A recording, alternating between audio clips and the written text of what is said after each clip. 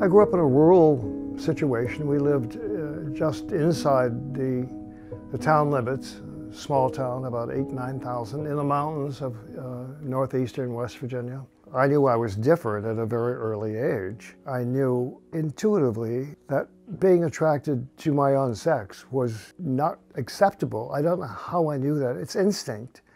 I knew enough to cover my tracks, to, to act out being something that I wasn't. I was about a junior in high school, and we had a wonderful band professor, um, and his wife, Virginia, was the local librarian.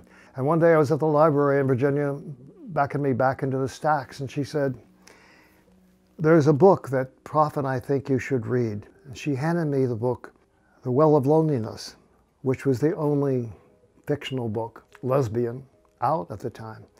I read it, and they never said, queer. They never said you are different. They just said you're going to go to university and when you're there, you're going to find a lot of other people just like you. And they probably saved my life because I, I covered up the depression, the fear I had. Um, I look back and laugh and tell my classmates, who now are very supportive, that I always had a picture of Betty Grable inside my high school locker. Everybody would see it. What they didn't know was on the other side was a wonderful picture of Tyrone Power. But it was difficult. There were no role models. There were, there were maybe two men around town that my father said, don't ever get in their car if they offer you a ride.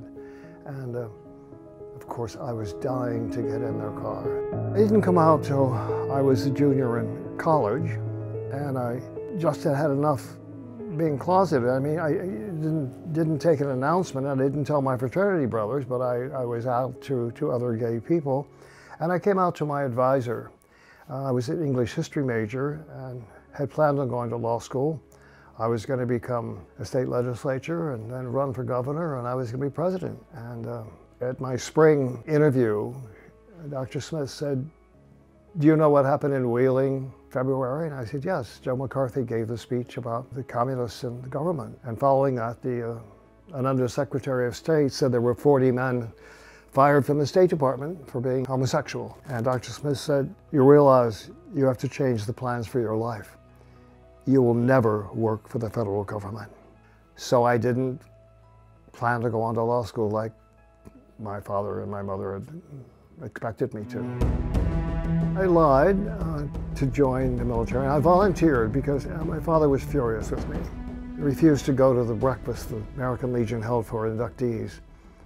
My mother went, and we were got a, I got on the bus to go to Clarksburg for the induction center, and I was very upset because my father had, thought had abandoned me. And the bus pulled out and towards the, the highway. There was my dad standing at Second Street and Davis Avenue. He had lost his arm as a child, and he, he was standing there very, very military, and he saluted the bus with the left hand. And I saluted him back. And so I, I lied and went. I woke up in the barracks with extreme pain in my stomach. I went on a sick call. The doctor examined me, and he said, uh, you, you go to the psychiatrist's office. And I thought, oh my God. It took me about three sessions to finally break down and cry and say, I am, I'm a homosexual. And the doctor, the captain, he said, that's the reason you have a pain. It's psychosomatic. You're seeing all these naked men run around and it's affecting you. It's, it's part of who you are. Keep seeing me. And I kept on training.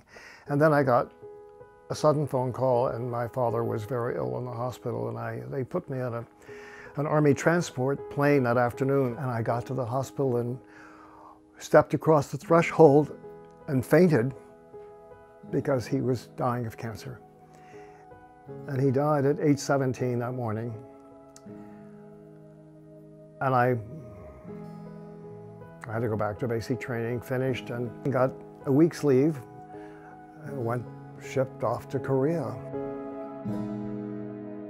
And we never heard the North Koreans or the Chinese, but you could smell them because they ate this diet of garlic rice.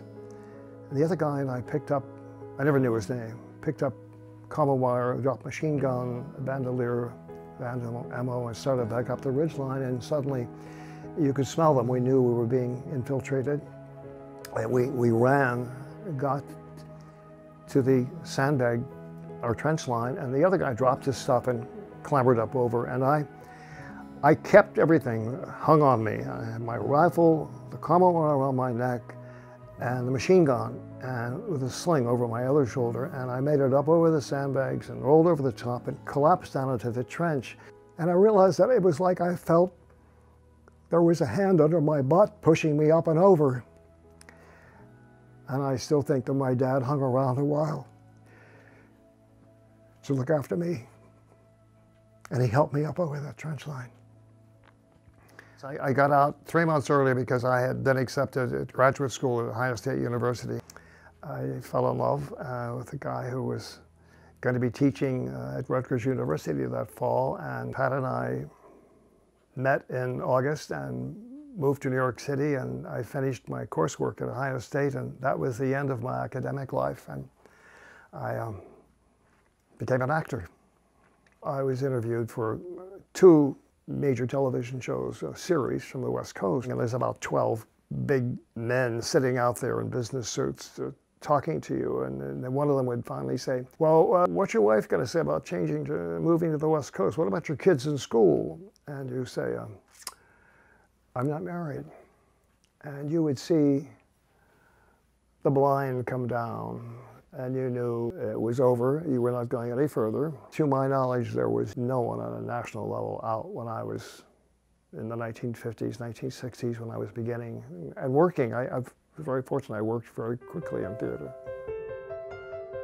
I was part of the gay veterans in New York, had been for years, and our leader, uh, Boyd, Boyd Matson, a Vietnam veteran, had gotten permission to place a wreath at the Tomb of the Unknown Soldier. And we went early morning, nine o'clock, and simply put the wreath and unfurled our gay banner. And some of the tourists there turned their back on us. And I wrote, I wrote an article about this, which was published in the New York Native, called Stepping Off the Curb to Join the Movement.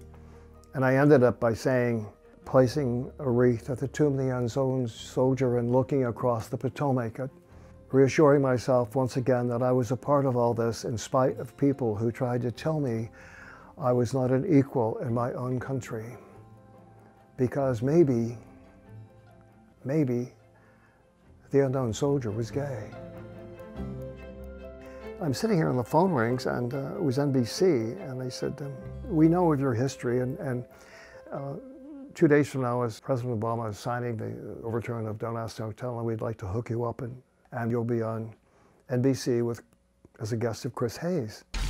Mr. Phillips, I- would like to start with you. Um, having gone through the experience in Korea of serving in the U.S. Armed Forces and, and not being able to be honest about who you were with the, the men you served with, what was going through your mind today as you watched the bill signing?